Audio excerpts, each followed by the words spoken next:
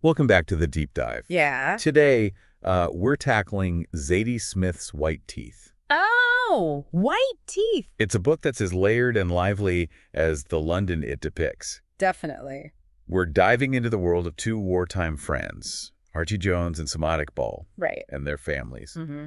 And trust me, their lives are anything but ordinary. Oh, absolutely. The book really throws you for a loop. What's so captivating about White Teeth is how Smith takes these seemingly everyday lives Yeah. and uses them to grapple with really big questions about identity, cultural clashes, yeah. and even the ethics of scientific progress. It's pretty mind-blowing. Yeah. We've got a stack of notes and thoughts from you, Right. and we're ready to unpack it all. Okay. So where do we even begin with this whirlwind of characters and stories? Well, I think the novel throws us right into the action, Okay. starting with Archie Jones on New Year's Eve, 1974. Okay. He's about to end it all, Oh, wow. but instead, six weeks later, he impulsively marries Clara Bowden. Wow. Talk about a dramatic shift Yeah. from almost suicide to marriage in just six weeks. It sets the stage for the whole thing. That's quite a leap. yeah. So how does Artie's wartime friend, Samad Iqbal, fit into all of this? Samad and his wife, Alsana, Okay. are Bangladeshi immigrants living in Willesden, Got it. their lives, alongside their twin sons. Okay. Millat and Magid Mm-hmm. become intricately intertwined with Archie's family, Oh, interesting. creating this fascinating mix of cultures and perspectives. From what I've read, it seems like there's a lot of tension Oh, yeah, simmering beneath the surface of these relationships. for sure. Archie's casual racism and Samad's struggles with religious fundamentalism are just a couple of examples. Right. It feels like a recipe for some serious cultural clashes. You're absolutely right. Yeah. The novel delves deep into these cultural clashes, not just between the two families, Okay. but also within them. It explores the challenges of holding on to tradition while raising children in a modern multicultural environment like London. It makes you wonder, Yeah, are these clashes inevitable in a society as diverse as London? that's the question. Yeah. Yeah. Is it possible to find a sense of belonging without sacrificing your own cultural identity? White Teeth grapples with that It does. through the lives of these characters, Yeah. particularly the younger generation. Right. Like, take Samad's sons, for example. Oh. He decides to send one of them, Magid, Mm. back to Bangladesh for a strict Islamic upbringing. That seems like a pretty drastic decision. It is. What was he hoping to achieve by sending Magid away? Samad believed that by immersing Magid in traditional Islamic values, Okay. he could protect him from the perceived corruption of Western culture. It's fascinating Yeah. how parents, especially immigrant parents, Right. try to reconcile their own cultural heritage with the realities of raising children in a new environment. Mm. It's almost like he's trying to control his son's destiny by sending him away. It is, yeah. But what about the other son, Millat? Right. How does he react to all of this? Well, M- Millat stays in London and becomes increasingly rebellious, Oh, wow. eventually joining a radical Islamic group Really? called Kevin, Keepers of the Eternal and Victorious Islamic Nation. Wow. It's a stark contrast to Magid, who ends up embracing secular intellectualism in Bangladesh. Wow, that's a pretty dramatic divergence in their paths. Yeah, It makes you wonder if Samad's decision to send Magid away actually pushed Millat further down the path of extremism, it's possible. like a reaction to his father's attempt to control his brother's life. It's a thought-provoking point. Yeah. The novel definitely explores the unintended consequences of our actions, I mean- especially when it comes to trying to mold someone else's identity. Absolutely. You know? And it's not just the boys, right? No, no. Irie, Archie and Clara's daughter, Yes. also goes through her own journey of self-discovery. She's navigating her mixed heritage, her complex feelings for Millat, Mm-hmm. and her experiences with the very different world of the Chalfens. Irie's journey is particularly interesting Yeah. because it highlights the fluidity of identity, especially in a multicultural context. Yeah. She doesn't fit neatly into any one box and constantly challenges the idea that our backgrounds define who we are. I'm sensing a theme here. Yeah. White teeth mm-hmm. seems to suggest that identity is not something fixed or inherited, Right. but rather something we actively create through our choices and experiences. Precisely. Yeah. And it's not just cultural identity that's being explored. Right. Smith also throws genetic engineering into the mix with a character named Marcus Chalfen. Oh, right, Marcus Chalfen. Yeah. I've read about Marcus and his future mouse experiment. Yes. It sounds like something straight out of a science fiction novel. It does, doesn't it? Yeah. Marcus, a geneticist, Mhm. is obsessed with controlling the destiny of his lab mice. Okay. He sees his experiment as a triumph of science. Yeah. But it also raises a lot of ethical questions about tampering with the very building blocks of life. It feels like a metaphor for the larger anxieties we have about technology and its impact on humanity. Definitely. How much control should we have over our own biology? Right. What are the potential consequences of our scientific ambition? Exactly. These are big questions. And White Teeth doesn't shy away from those tough questions. It doesn't. It forces us to confront our own fears and fascinations with scientific progress and what it might mean for the future of our species. It's mind-blowing to think about. yeah, And while Marcus is busy playing God in his lab, right. the world outside is changing rapidly. Yes. The novel touches on major events like Thatcherism, the fall of the Berlin Wall, Mm. and the growing racial and religious tensions in London. Right. It's like the characters' personal lives are unfolding against this backdrop of societal upheaval. Absolutely. These historical events provide a context for the character's struggles, highlighting how external forces shape our choices and relationships. How interesting. It reminds us that our individual stories are always intertwined with the larger narratives of history and society. It sounds like White Teeth is as much about social change as it is about personal journeys. It is, yeah. It's about how individuals navigate shifting landscapes, both within themselves and in the world around them. That's a great way to put it. Thank And it all builds towards a climax that brings these characters and their complex stories together in a truly unexpected way. Now, I'm really intrigued. Yeah. The notes I have mention this chaotic gathering at the Perret Institute, Yeah. Converging storylines, Mhm. and an ending that leaves you with more questions than answers. It does. It seems like things are about to get really interesting. Oh, you have no idea. Okay. The ending of White Teeth is as thought-provoking and unconventional as the rest of the novel. All right. But before we d- dive into that, let's explore these themes of cultural clashes and genetic engineering a bit further. Okay. There's so much to unpack. Yeah, let's do it. Okay. Okay, let's dive deeper into these cultural clashes. Okay. It seems like Samad's journey is a prime example of how tradition and modernity can collide, Right. especially for immigrant families. Yeah, Samad's story really gets to the heart of what it means to belong. Yeah. He's constantly wrestling with how to maintain his Bengali heritage while living in a Western society. Mm-hmm. You know, he even romanticizes his ancestor, Mangal Pandey. Okay.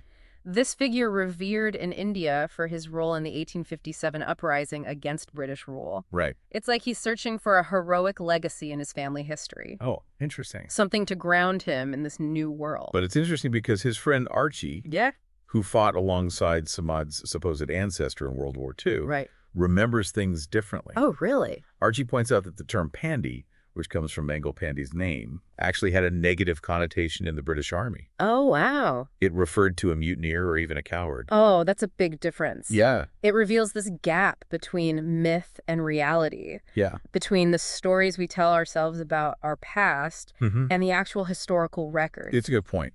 Samad's clinging to this romanticized version of his ancestor, but yeah. it's based on a selective reading of history. Yeah, so are you saying that it makes you think about how we all construct narratives about our past, Exact. choosing to emphasize certain aspects and downplay others? Yeah, yeah. It's almost like Samad is trying to create a sense of belonging Right. by connecting himself to this grand historical narrative, Exactly. even if it means bending the truth a bit. yeah. And that desire for control extends to his family as well. Absolutely. His decision to send Mad back to Bangladesh for a pure Islamic upbringing Right. is a prime example. yeah. He's trying to impose his own rigid definition of what it means to be Bengali and Muslim Onto his son. onto his son. Yeah. And as we discussed earlier, it backfires spectacularly. Big time. Magid ends up embracing a more secular intellectual path, Right. while Millat, who stays in London, gets caught up in religious extremism. Yeah. It seems like trying to force an identity onto someone can have the opposite of the intended effect. It really can. It raises the question, yeah. can identity be imposed or does it emerge organically from lived experience? That's the White Teeth seems to suggest that true belonging comes from embracing the complexities and contradictions of who we are, Yeah, rather than trying to fit into a predefined box. I agree. And this idea of embracing complexity applies to Irie's journey as well. Absolutely. She's grappling with her mixed heritage, Right. her Jamaican roots, Mhm. and her feelings for Millat, Yeah. who represents a culture that her father views with suspicion. Yeah. It's like she's caught in the middle trying to carve out her own path. Irie's story is so compelling. It is. Because it highlights the limitations of simple categories. Yeah. She doesn't fit neatly into any one box. Right. She's British, Jamaican, and connected to Bengali culture through her friendship with Millat. Mm-hmm. She embodies the fluidity of identity, Yeah. especially in a multicultural society like London. And her exploration of her Jamaican heritage adds another layer to the story. It does. It reminds us that these cultural clashes are not just happening in the present. Right? They're rooted in a long history of colonialism and cultural exchange. History. It doesn't. And its impact on the present. Yeah. It's woven into the very fabric of the characters' lives and relationships. So we've got these cultural clashes playing out on a personal and historical level. Yeah. And then Smith throws in genetic engineering with Marcus Chalfen and his Future Mouse experiment. Right. It seems like she's deliberately bringing together these seemingly disparate themes, She is, yeah. culture, identity, and scientific progress, Uh-huh. to make us think about how they're all interconnected. That's exactly what's so brilliant about White Teeth. It is. It's not just a novel about identity politics or cultural clashes. right. It's about how those things intersect with technology and our anxieties about the future. It's true. Marcus's experiment becomes this potent symbol Yeah. of our desire to control the very essence of life. It's almost like a modern day Frankenstein story, isn't it? It is. We're fascinated by the possibilities of science. Yeah. but also terrified of the potential consequences. Right. What if we create something we can't control? Yeah. What if our creations turn against us? Those fears are definitely present in White Teeth. They are. Marcus is so focused on the intellectual puzzle of his experiment Yeah. that he seems oblivious to the ethical implications. It's interesting. He's playing God, Yeah. manipulating life at its most fundamental level. But as we see throughout the novel, Mm-hmm. there are always unintended consequences to our actions. Always. Samad tries to control his son's destinies and it blows up in his face. Right. Marcus tries to control the destiny of his mice. And who knows what the ultimate outcome will be. Yeah, exactly. It seems like Smith is suggesting that true control is an illusion. It is. Life is messy and unpredictable. It is. There are always factors we can't account for, Yeah. twists and turns that defy our expectations, For sure. which brings us to the ending of the novel Right. and that chaotic gathering at the Perret Institute where all these storylines collide. Oh, yeah. I'm dying to know what happens. Well, the ending of White Teeth Okay. is as unconventional and thought-provoking as the rest of the novel. Okay. Smith masterfully brings all these characters together in this one space Yeah. With their conflicting beliefs and motivations Yeah. and lets the chaos unfold. It sounds like a powder keg waiting to explode. It is. Wow. But it's also a brilliant reflection of the messiness of life itself. Yeah. There are no easy answers, no Mhm. neat resolutions. Mhm. Smith leaves us with a sense of ambiguity, forcing us to confront the complexities of these issues and grapple with our own interpretations. So it's not a happily ever after kind of ending. Definitely not. Okay. But it's an ending that stays with you long after you've finished the last page. I bet. It makes you think about the choices we make, Mm. the forces that shape our lives, Yeah. and the unexpected connections that bind us together. It sounds like the perfect ending for a novel that celebrates complexity It is. and challenges us to think differently about the world. Yeah. I'm so ready to dive into this final part and see how it all comes together. Let's do it. Okay. The ending of White Teeth is full of surprises and thought-provoking moments. It's Uh-huh. the perfect culmination of everything we've been discussing. All right, we're back. Ready to unpack this whirlwind of an ending. Yeah. We left off with all these characters converging at the Perret Institute. Right. What happens when all their stories, all their baggage collide in this one space? Okay, picture this. Okay. It's New Year's Eve 1992. The Perret Institute is buzzing with anticipation for Marcus Chalfen's Future Mouse exhibit. Right. But it's not just a scientific showcase. Yeah. It's a powder keg of emotions. We've got Millat, fueled by radical ideology, planning an attack. Yes. We've got Magid fresh off the plane from Bangladesh. Right. Thrown back into a family dynamic he barely recognizes. Exactly. And Irie's caught in the crossfire, uh. struggling to reconcile her feelings for Millat with her own evolving sense of self. It's a lot. It is. Smith masterfully orchestrates this chaos, yeah. weaving together these disparate threads into a climax that is both thrilling and thought-provoking. It sounds intense. It is. So amidst the chaos, is there a sense of inevitability? You know, there is. All these characters, despite their attempts to control their own destinies. Right. We're always hurtling towards this moment. I think so. It's as if their lives, their choices, yeah. and even their chance encounters have all been leading up to this explosive convergence at the Perret Institute. Mm. It makes you think about the role of fate versus free will. It does. Do we have any agency in shaping our own lives? Right. Or are we just pawns in some larger game? That's the question White Teeth grapples with. Yeah. And Smith doesn't offer any easy answers. Right. Instead, she leaves us with an ending that is open to interpretation. Okay. The final scene is ambiguous. Okay. The characters' fates are left unresolved. Interesting. And we're left to ponder what it all means. I love that she trusts the reader to draw their own conclusions. Yeah, me too. It's not a neat and tidy resolution. Right. But it feels true to the messiness of life itself. It does. Things don't always wrap up with a bow. Yeah, they don't. And sometimes the most powerful stories are the ones that leave us with lingering questions. Exactly. And that ambiguity is what makes the ending so compelling. Mm -hmm. It forces us to confront the complexities of these issues and grapple with our own interpretations. Yeah, what happens to Millat? Right. Does he go through with his attack? Who knows? Does Magid find his place in this family that feels both familiar and alien? It's a good question. And what becomes of Irie torn between her past and her future? Yeah, it's really interesting to think about. Smith leaves those questions hanging in the air.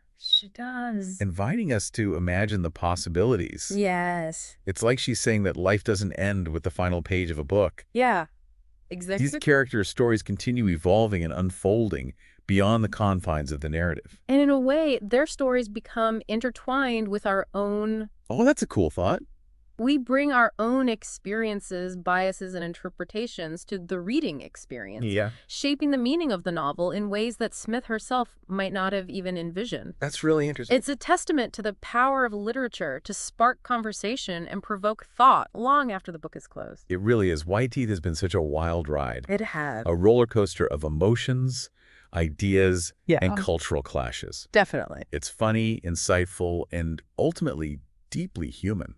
It's left me with so much to think about. I bet. And I have a feeling I'll be revisiting these characters and their stories for years to come. It's a novel that stays with you. It really is. That challenges your assumptions and expands your understanding of the world. Hmm. It's a celebration of diversity, a reminder that even in our differences, we're all connected by the common threads of humanity. Beautifully said. And for our listeners, if you haven't already experienced the brilliance of White Teeth, I highly recommend you add it to your reading list. Right. It's a journey you won't regret. It's a deep dive into the heart of London.